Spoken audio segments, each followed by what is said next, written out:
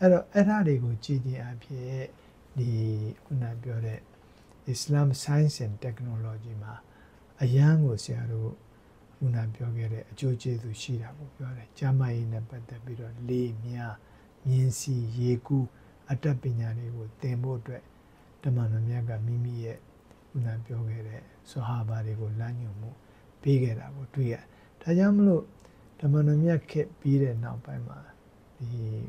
နှစ်ပေါင်း30လောက်ဆရာတို့ဒီ qualify ရာရှီဒီနီယခက်မှာတိုင်းပြည်ကအခုနပြောခဲ့တဲ့ဒီ science နဲ့ technology မှာတဖြည်းဖြည်းတဖြည်းဖြည်းနဲ့သူကတိုးတက်လာတိုးတက်လာတဲ့အတွက်ကြောင့်မလို့ခစ်တွေကိုပြန်ကြည့်လို့ရှိရင်ဒီနေ့ဒီခစ်ပေါင်း6ခစ်ပေါ့နော်6ခုနပြောခဲ့တဲ့ developmental status တွေကိုဆရာတို့တွေ့ရတမန်တော်မြတ်ခစ်ကတကူပြီးရင်စွာဘာရရဲ့ခစ်ကတကူပြီးလို့ရှိရင်အိုမေယာလို့ပြောတဲ့ မွာဝီယာနဲ့လက်ထက်ကတကူအဘဆစ်လို့ပြောတဲ့ဟာရူရရှိတို့တကူပြီးတဲ့အခါကျတော့ဆရာတို့ဒီခုနပြောတဲ့ Ottoman Empire လို့ပြောတဲ့ Turkish Empire ကတကူဆို၅ခုဖြစ်သွားတယ်အဲ Turkish Empire ကြီးကျဆုံးပြီးတဲ့နောက်မှအခုဆရာတို့ဒီအခု 20th century မှာ world power ကဒီနေ့အမေရိကတို့ယူရိုပတို့အင်္ဂလန်တို့သူတို့လက်ထက်ကိုကျသွား အဲ့တော့ပြန်ကြည့်တဲ့အခါကျတော့သူတို့လက်ထက်ရောက်တဲ့အခါကျတော့သူတို့ကအစ္စလာမ်သိပ္ပံပညာရှင်တွေရဲ့ဖွံ့ဖြိုးတိုးတက်အောင်လုပ်ပြီးသားတွေ့ရှိပြီးသားပညာရက်တွေကိုသူတို့တွေကဆက်လက်ပြီးတော့ advance လုပ်သွားတယ်မွတ်စလင်တွေကခုနပြောတဲ့နောက်ဆုံး caliphate ကြာဆုံးပြီးတဲ့နောက်တူရကီအင်ပါယာကြီးကြာဆုံးပြီးတဲ့နောက်အစ္စလာမ်သာသနာနဲ့အစ္စလာမ် အစ္စလာမ်သာသနာကတော့မကြဘူးဒါပေမဲ့မွတ်စလမန်တွေရဲ့အဆင့်အတန်းနဲ့အနေအထားတွေအကုန်လုံးကြာသွားတာကိုဆရာတို့တွေ့ရတွေ့ရတဲ့အတွက်ကြောင့်မလို့ဒီနေရာမှာအစ္စလာမ်တွေဟာ14ရာစုပေါ့နော်73ရာစုနှစ်တိုင်အောင်သိပ္ပံနဲ့ science and technology မှာ advance ဖြစ်တာကိုဆရာတို့တွေ့ရအဲ့ဒါကြောင့်မလို့မွတ်စလမန်ပညာရှင်တွေကိုဆရာတို့ကြည့်လိုက်တဲ့အခါကျတော့ ဒီခုနပြောတဲ့မိုအာဝီယာတို့ရဲ့အိုမေယ period တွေမှာအဘာစစ် period တွေကိုကြည့်အလွန်ကြော်ကြားတဲ့မွတ်စလမန်သိပ္ပံပညာရှင်တွေခုနပြောခဲ့တဲ့ဒီယူပဗေဒပညာရှင်တွေဓာတုဗေဒပညာရှင်တွေဇီဝဗေဒပညာရှင်တွေတတ္တဗေဒပညာရှင်တွေခုနပြောတဲ့မနုဿဗေဒပညာရှင်တွေပြီးလို့ရှိရင်ခုနပြောတဲ့ပညာရေးဆိုင်ရာပညာရှင်တွေနိုင်ငံရေးသိပ္ပံဆိုင်ရာပညာရှင်တွေအမျိုးမျိုးတွေ့တာပါ စေပညာဆိုင်ရာပညာရှင်တွေတွေ့တာပေါ့ဆရာတို့တွေ့ရအဲ့ဒီမှာခုနပြောခဲ့တဲ့အဘူနာဆစ်အလ်ဖာရာဘီလို့ပြောတယ်880မှာသူက philosopher တယောက်ပဲ scientist တယောက်ပဲသိပ္ပံပညာရှင်တယောက်ဖြစ်တယ်အဲ့တော့သူကသူ့ရဲ့အခုနပြောခဲ့တဲ့အလဲခင်မှာအလွန်ကြီးကျယ်တဲ့သိပ္ပံပညာရှင်တယောက်ဖြစ်တာကိုတွေ့ရတယ်အဲ့ဒီတိုင်းပဲအလ်ဘတ်တာနီလို့ပြောတယ်သူရဲ့အဲ့ဒီခေတ်တွေမှာသူက သင်္ချာပညာရှင်ဖြစ်တယ်သိပ္ပံပညာရှင်ဖြစ်တယ် astronomer လို့ပြောတယ်ဒီခုနပြောတဲ့ဒီနက္ခတ္တဗေဒပညာရှင်တယောက်ဖြစ်တာကိုလည်းတွေ့ရတယ်ဒါနှစ်ယောက်ဆရာပြောတယ်နောက်တစ်ခုက Ibn Sina လို့ပြောတယ်သူက AD 9ရာစုနှစ်လောက်မှာအလွန်ကျွမ်းကျင်တဲ့ပါရှန်စေသိပ္ပံပညာရှင်တယောက်ဖြစ်တယ်ပြီးတဲ့အပြင်ခုနပြောခဲ့တဲ့ philosopher လည်းဖြစ်တယ် scientist တယောက်လည်းဖြစ်တာကိုတွေ့ရတယ် အဲ့တော့သူ့ကိုဆရာတို့ကခုနပြောခဲ့တယ်အဘီစီနာဆိုပြီးတော့လည်းခေါ်တယ်အဲ့ဒါမဲ့ Ibn Battuta ဆိုပြီးတော့သူက73ရာစုနှစ်မှာအလွန်ကျွမ်းကျင်တဲ့ခုနပြောခဲ့တဲ့ပညာရှင်တယောက်ဖြစ်တဲ့သူကခုနပြောခဲ့တဲ့ဒီ travelers နဲ့ travel နဲ့ပတ်သက်ပြီးတော့တနေရာနဲ့တနေရာကိုခရီးသွားခရီးသွားပြီးတော့အဲ့ဒီမှာရှိတဲ့အခြေအနေတွေကို record လုပ်ပြီးလို့ရှိရင် biography တွေထုတ်ဆိုတော့အဲ့ဒီလိုဟာမျိုး တနည်းအားဖြင့်ဒီခေတ်ကဆိုလို့ရှိရင် tourism နဲ့ပတ်သက်ပြီးတော့အလွန်ကျွမ်းကျင်တဲ့ပညာရှင်တယောက်ဖြစ်တယ်။နောက် Ibn Rushd ဆိုတာက 11th century လောက်မှာအလွန်ကျွမ်းကျင်တဲ့ပညာရှင်ဖြစ် philosopher တယောက်ဖြစ်တဲ့တဲ့သူရဲ့သူကဒီ Greek တွေရဲ့ Aristotle တို့ Socrates တို့ရဲ့ psycho တွေ psychology ကိုလေ့လာပြီးတော့ Islamic psychology နဲ့ပေါင်းပြီးတော့သူကသူရဲ့ Rushd ရဲ့ဟိုပါပေါ့သူ့ အနောက်တိုင်းမှာသူ့ကို Abiros ဆိုပြီးတော့သူ့ကိုခေါ်တယ်။နော်သူ့ရဲ့ series of ဒီ psychological စာအုပ်တွေကိုဒီနေ့မလေ့လာရင် psychology ဘွဲကိုမရတာကိုတွေ့ရတယ်။အဲ့တိုင်းပဲခုနပြောလို့7 century လောက်မှာအလွန်နာမည်ကြီးခဲ့တဲ့ Khwarizmi ဆိုပြီးတော့မွတ်စလမန် scientist တယောက်ရှိတယ်သူကတော့ခုနပြောခဲ့ဒီ algebra တို့ algorithm တို့ mathematics မှာအလွန်ကျွမ်းကျင်တဲ့ပညာရှင်ဖြစ်တယ် ဖြစ်တဲ့အတွက်ကြောင့်မလို့သူ့ကိုလည်း European မှာဆိုလို့ရှိရင် mathematics သင်တဲ့လူတွေကသူ့အကြောင်းကိုမလေ့လာလို့မရအောင်ဖြစ်တာကိုတွေ့ရအဲ့တည်းကခုနကပြော Omar al-Khayyam ဆိုပြီးတော့မှ30 10 century လောက်မှာအလွန်ကြောကြားတယ်သူလည်းသိပ္ပံပညာရှင်တယောက်ဖြစ်တယ် mathematics မှာအရန်တော်တယ်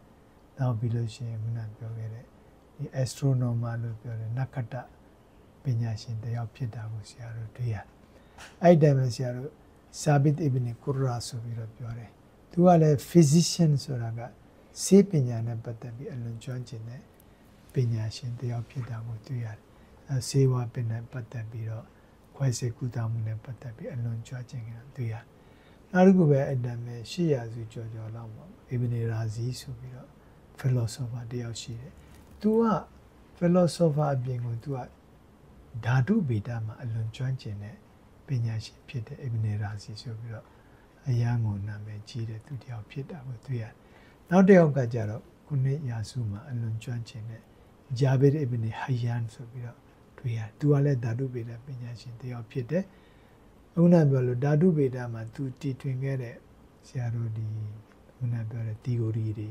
တွေ့ရှိမှုတွေဟာအယံကိုအရေးပါတာကိုတွေ့ရတယ်။နောက်ပြီးတော့ Ibn Ishaq al-Kindi ဆိုပြီးတော့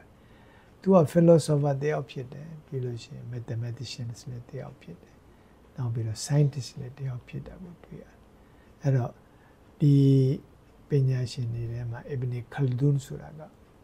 ဒီကုနာဆရာတို့ဒီစီးပွားရေးပညာရှင်တယောက်ဖြစ်တာဆရာတို့တွေ့ရတယ်သူက73ရာစုနှစ်လောက်မှာအလွန်ကြော်ကြတာဆရာတို့တွေ့ရတယ်အဲ့တော့ဒီလိုဟာမျိုးအစ္စလာမ်သာသနာထဲမှာဆရာဒါအနည်းငယ်နဲ့အကျဉ်းချုပ်ပြီးတော့ ဒီပညာရှင်တွေရဲ့အခြေအနေတွေကိုတင်ပြလိုက်တာပါလေအဲ့တော့ဒါတွေကိုကြည့်ကြရပြီဆရာတို့ Islam Science and Technology ဆိုတဲ့ဒီခေါင်းစဉ်အောက်မှာဘာတွေဆရာတို့အကျိုးမြတ်တွေရခဲ့လဲဘာတွေမိမိအတွက်ကြံခဲ့လဲလို့မေးလို့ရှိရင်မိမိဟာမွတ်စလမန်တယောက်ဖြစ်တယ်ဆိုလို့ရှိရင်မိမိစိတ်ထဲမှာဒီစိတ်ကူးကောင်းနေခုချိန်မှာပေါ်လာဖို့အရေးကြီးတယ် အခုပညာကိုကြိုးစားပြီးတော့သင်ယူတဲ့လူငယ်လူရွယ်ကျောင်းသူကျောင်းသားတွေကအစ္စလာမ်သာသနာဟာအလွန်မှပဲပြည့်စုံကုန်တဲ့သာသနာတစ်ခုဖြစ်တယ်ဒီကျမ်းမြတ်ကုရ်အာန်နဲ့ဟာဒီသ်တော်တွေထဲမှာအစ္စလာမ်သာသနာနဲ့ပတ်သက်ပြီးတော့အခုဆရာတို့အထူးသဖြင့်ပြောပြခဲ့တဲ့ဒီ Quran Science and Technology မှာအလွန်ပြည့်စုံပြည့်ဝတဲ့လမ်းညွှန်မှုတွေကိုအလောရှင်မြတ်ကပြသခဲ့တဲ့တမန်တော်မြတ်ကဆက်လက်ဆင့်ပြန်ပြီးတော့အမတ်ကို ဒါတွေချပေးခဲ့တယ်အဲ့ဒါတွေကိုကြည့်ကြရပြီဆရာတို့နားနဲ့သဘောပေါက်သွားတာကဒီ19ရာစုနှစ်1923ခုနှစ်မှာတူရကီအင်ပါယာကြီးကျဆုံးသွားတာပေါ့ကျဆုံးသွားပြီးတဲ့နောက်မှာအစ္စလာမ်တွေဟာ science နဲ့ technology နဲ့အခုနပြောခဲ့တဲ့နိုင်ငံရေးမှာနိုင်ငံရေးပါဝါဟာလုံးဝကျဆုံးသွားတာကိုဆရာတို့တွေ့ရတယ်။ ဘာကြောင့်အဲ့လိုဖြစ်လဲ။တန်ဝေကရဖို့ကောင်းတာကအဲ့ဒီခေတ်မှာရှိတဲ့ခုနပြောခဲ့တဲ့နွားကွဲတော့ကြားကြိုက်ခံရတယ်ဆိုတဲ့အတိုင်းပဲမိမိတို့နိုင်ငံဟာမိမိတို့ empire ကြီးဟာဒီလောက်ခိုင်မာပြီးတော့ပညာရက်တွေသိပ္ပံပညာရက်တွေအတွေ့အကြုံတွေစစ်တပ်အင်အားဒီလောက်ကြီးမားတဲ့ Islamic civilization ကြီးကဘာကြောင့်ကျသွားလဲမေးလို့ရှိရင်အထူးသဖြင့်လူတွေမှာတမာတိတစ္ဆာဆိုတာမရှိတော့ပညာရှင်တွေထဲမှာအမာနတ်လို့ခေါ်တဲ့သူသူများရဲ့ဥစ္စာပစ္စည်းကိုထိမ့်သိမ်းဆောင်ရှောက်ရမယ်အလ္လာဟ်ရဲ့သာသနာကိုထိမ့်သိမ်းဆောင်ရှောက်ရမယ်ဓမ္မတော်မြတ်ရဲ့စကားကိုထိမ့်သိမ်းဆောင်ရှောက်အဲ့ဒီအသည့်တွေမရှိတော့ခုနပြောကိုကျိုးစာ ကိုကျိုးရှာခြင်းနဲ့စိတ်တက်တွေများပြီးတော့ခုနပြောခဲ့ corruption တွေဖြစ်လာခြားစားမှုတွေဖြစ်လာခြားစားမှုတွေကခုနပြောလို့စစ်တပ်အပိုင်းမှာလည်းဖြစ်လာပညာရေးပိုင်းမှာလည်းအာလီအိုလမာသာသနာပညာရှင်တွေကြားထဲမှာလည်းစိတ်တက်တွေခြားစားတာအဲ့ဒီတိုင်းမှာခုနပြောခဲ့တဲ့စီးပွားရေးသမားတွေကိုကြည့်မလားနိုင်ငံရေးသမားတွေကိုကြည့်တိုင်းပြည်အုပ်ချုပ်တဲ့လူတွေကိုကြည့်မလားအခုနပြောခဲ့တဲ့တိုင်းပြည်ရဲ့ ဝင်ငွေထွန်းစီးပွားရေးတွေ finance တွေကိုင်တဲ့လူတွေကိုကြည့်အကုန်နေရာမှာချစားတယ်တိုင်းပြည်အုပ်ချုပ်တဲ့လူတွေကို၌ကစိတ်ဓာတ်တွေမကောင်းတော့မကောင်းမဲနဲ့ခုနပြောခဲ့တယ်အရက်မူရည်စေဝါမိမလိုက်စားမှုဒါတွေကများပြားပြီးအကျဉ်းစာတွေဒါတွေပြက်ပြီးတော့ပျက်စီးလာအဲ့တော့အဲ့ဒီအတွက်ကြောင့်မလို့အလရှင်မြတ်ဘက်ကနေနေပြီးတော့ဒါပြစ်ဒဏ်ချမှတ်ခြင်းခံရတဲ့ သဘောဖြစ်လာတဲ့အတွက်မွတ်စလင်တွေထဲမှာအကွဲပြဲတွေဖြစ်လာအကွဲပြဲတွေဖြစ်လာပြီးအင်အားတွေဆုပ်ယုပ်လာစစ်ပွဲတိုင်းစစ်ပွဲတိုင်းမှာကြာရှုံးလာနိုင်ငံတော်ကြီးကျယ်တဲ့ဒီနိုင်ငံတော်ကြီးတနည်းအားဖြင့်ဟို Atlantic Ocean ကနေ Pacific Ocean အထိအလွန်ကျယ်ပြောတဲ့ Islamic civilization Islamic empire ကြီးကတစတစတစတစနဲ့ဖြိုခွဲလာဖြိုခွဲလာပြီးတော့ဒီ19ရာစုနှစ်ပထမကမ္ဘာစစ်ကြီး ဖြစ်တာပေါ့လေ1905ခုနှစ်မှာဖြစ်1900ခုနပြောလို့15မှာ10နှစ်တာအတွင်းထဲမှာပြီးသွားတယ်လူတွေကတန်ပေါင်း350လောက်သေတာပေါ့အဲ့တော့အဲ့လိုသေတဲ့အခါကျတော့ဒီတူရကီအင်ပါယာကြီးကတဖြည်းဖြည်းနဲ့စိတ်ပိုင်းစိတ်ပိုင်းနဲ့အကုန်ကွဲကွဲပြီးလို့ရှိရင်ခုနပြောခဲ့သူလက်အောင်မှာရှိတဲ့လူတွေကိုတစ်ဖက်မှာအင်္ဂလိပ်ကပြင်သစ်ကဂျာမန်ရပြီးလို့ရှိရင်ခုနပြောခဲ့တယ် ရုရှားရဟမ်အဲ့တော့ဒီသူတို့တွေကတစ်ဖက်တူရကီကတစ်ဖက်ဖြစ်အဲ့တော့ခုနပြောခဲ့တဲ့ဒီဒီကြောင်လေးတစ်ကောင်ကိုဒီဘက်ကဝဝကြီးတွေကြားကြီးတွေဟမ်ခုနချင်းသေးကြီးတွေမွေကြီးတွေကလည်းအကုန်လုံးဝိုင်းပြီးတော့ကိုက်ဆလိုက် Islamic Empire ကပြိုကွဲသွားတစ်ချိန်လုံးကတူရကီတွေကိုတူရကစ်မင်းတွေကိုဒီအင်္ဂလိပ်တွေပြင်သစ်တွေစပိန်တွေ ပေါ်တူဂီတွေအရန်ကြောက်တယ်သူကဒါပေမဲ့ခုနပြောခဲ့သလိုကိုကမနေတတ်တဲ့အခါကျတော့ဇာရိတ္တတွေပျက်စီးကုန်အမလ်အီဘာဒတ်တွေမကောင်းတဲ့အခါကျတော့ကိုယ့်ရဲ့လူတွေအကုန်လုံးကကိုယ့်ကိုတစ္ဆာဖောက်လာတစ်ချိန်လုံးကကိုယ့်လက်အောက်မှာရှိတဲ့လူတွေအကုန်လုံးကဒီနေ့ရန်သူနဲ့သွားပေါင်းပေါင်းပြီးတော့သူတို့ရန်သူရဲ့အင်အားဖြစ်လာအဲတစ်ချိန်လုံးကဒီအာရဗ်တွေရဲ့လက်အောက်မှာရှိတဲ့ဒီဆော်ဒီအာရေဗျတို့စီးရီးယားတို့အီဂျစ်တို့ အားလုံးကနောက်ဆုံးပါဖြစ်လဲတူရကီကိုညှင်းဆန်ပြီးတဲ့အခါကျအင်္ဂလိပ်တွေနဲ့ပေါင်းပြီးတော့သူတို့နိုင်ငံအသစ်တွေကိုဒါကြောင့်မလို့အဲဒီတော့အစ္စလာမ်အင်ပါယာကြီးပြိုကွဲပြီးတဲ့နောက်မှာအစ္စလာမ်နိုင်ငံလေးတွေကတခါတည်း40နဲ့50နဲ့9နိုင်ငံအဖြစ်ကိုကွဲထွက်သွားတာပေါ့အင်္ဂလိပ်တွေက divide and rule ဆိုတာအခုနပြောခဲ့သလိုအကုန်လုံးကိုခွဲအခုနပြောဖြိုခွဲပြီးတော့သူတို့က rule လုပ်တယ်အုပ်ချုပ်တယ်အဲ Islamic Empire ကြီးကလုံးဝအစိတ်စိတ်အပိုင်းပဲ58ပိုင်းကွဲအဲ့တော့ခုနပြောလို့ခုနပြောလို့နွားတွေကွဲသွားတဲ့အခါကျတော့ဂျာကြိုက်ဖို့အခွင့်အရေးရတော့ဒီလိုအခြေအနေရောက်လာအာဒီထဲမှာခုနပြောခဲ့သလို minority country တွေထဲမှာမွတ်စလင်တွေကပြန်ပြီးတော့သွားသွားပြီးတဲ့အခါကျတော့ဗမာတို့လိုအိန္ဒိယတို့လိုထိုင်းနန်တို့လိုအဲ့ဒီနိုင်ငံတွေမှာလည်းမွတ်စလင်တွေလူနည်းစုတွေကရောက်အဲ့ဒီရောက်တဲ့အခါကျတော့လည်းအဲ့ဒီမှာရှိတဲ့ တခြားဘာသာဝင်အများစုကအဲ့ဒီမွတ်စလင်တွေကိုတခါဖြိုခွဲခုနပြောလို့မရှိအောင်ကြိုးစားအမျိုးစုံသူတို့တွေလောက်တာကိုဆရာတို့တွေ့ရတာအဲ့တော့ဒါကြောင့်မို့လို့ဒီခေတ်မှာဒီခေတ်လူငယ်တွေအပေါ်မှာတာဝန်ရှိတာကမိမိတို့ရဲ့ civilization ကြီးကိုဘယ်လိုလုပ်ပြီးတော့ပြန်လဲတည်ထောင်မလဲကုရ်အာန်နဲ့အစ္စလာမ်နဲ့ science နဲ့ technology ကတော့အပြည့်အဝရှိ ဒါကြောင့်ဆရာကဒါကိုပြန်ပြီးတော့နှွေးပေးတာနှွေးပေးပြီးတော့ဒီနေ့လူငယ်တွေကိုပြန်ပြီးတော့ဒီစကားကိုလက်ဆင့်ကမ်းတာပေါ့နော်လက်ဆင့်ကမ်းတဲ့အတွက်ကြောင့်မလို့ဆရာတို့ကတော့အသက်ကြီးသွားပြီမင်းတို့လူငယ်တွေမှာအချိန်တွေအများကြီးရှိသေးတယ်ဆိုတော့ကိုကထူးချွန်အောင်အခုအားလုံးကလည်းခုနပြောလို့ကွန်ပျူတာနဲ့ computer communication science technology ဒါတွေကိုကြိုးပမ်းနေတဲ့လူတွေကများတဲ့အခါကျဒီပေါ်မှာ excel ဖြစ်အောင် တစ်ဖက်ကန်းခတ်တက်မြောက်အောင်ကိုကကြိုးစားပြီးတဲ့အခါကျတော့ကိုကပြန်ပြီးတော့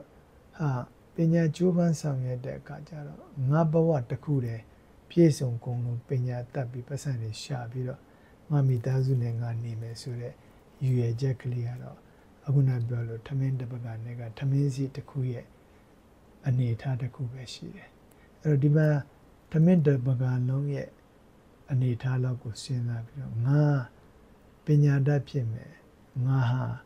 ကောင်းမတဲ့မွတ်စလမန်တယောက်ဖြစ်မယ်ငါဟာငါရဲ့ဘဝကိုအောင်မြင်အောင်တည်ထောင်နိုင်တယ်လို့ငါရဲ့ community အတွက်လည်းငါကြိုးစားမယ်ငါတို့ရဲ့အစ္စလာမ်ရဲ့ဖွံ့ဖြိုးတိုးတက်မှုအတွက်ကိုကြိုးစားမယ်တစ်ချိန်ကြာလို့ရှိရင်ကြာဆုံးသွားတဲ့ Islamic civilization ကြီးကိုငါတို့ဘယ်လိုပြန်ပြီးတော့တည်ဆောက်နိုင်မလဲဆိုတဲ့အတွေးတွေကိုမိမိတို့တခါတည်းဒါတွေကို အခြေကနေနေပြီးတော့ခိုင်မာအောင်တည်ဆောက်ပြီးတော့ဒီထဲမှာကိုကအပြည့်အစုံမပါနိုင်တော့တတောင့်တနေရာကနေနေပြီးတော့ပါဝင်ပြီးတော့မိမိတို့ရဲ့ကြာဆုံးသွားတဲ့ civilization ကြီးကိုပြန်လည်တည်ဆောက်ကြပါစို့လို့စေတနာမေတ္တာတရားတရားတွေရှေ့ဝေထားကပြောကြရင်လည်းညီကုန်းချုပ်အပ်ပါဝါခိရဒါဝနာအန်အလ်ဟမ်ဒူလ illah ရဘ်ဘီလ်အာလမီအစ္စလာမုအလိုင်ကွမ်ဝရဟမတု ல்லா ဟီဝဘရကာတူ